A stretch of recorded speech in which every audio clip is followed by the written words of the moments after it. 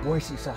Kinuha niya si Raquel tsaka si Ozzy. Anumang pagsubok ang hinaharap, Saan niyo po ba kami ipapadala, Mami? Where you'll be safe. It means hindi ka na namin makikita. Anak, hindi mangyayari yon. pamilya pa rin ang una. Gagala Ozzy. Tatapusin ko yung sinimulan ko. Hindi na siya makakabangon sa hukay. Genesis pagkatapos ng Adarna sa GMA Telemaban.